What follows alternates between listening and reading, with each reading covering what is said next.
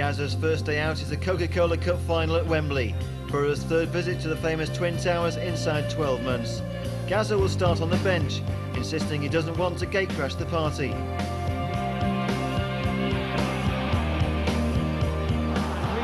have a chance for them here.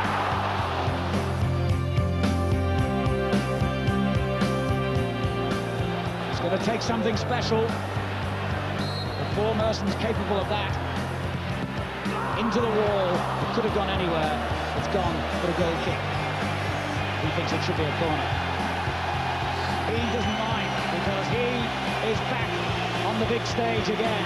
Paul Gascoigne, after an absence of seven years from English football, is about to come on in a cup final with 64 minutes gone. Gazza is welcomed back to Wembley. Dennis Wise. Still got his cross in. It's a goal. But he's in trouble here.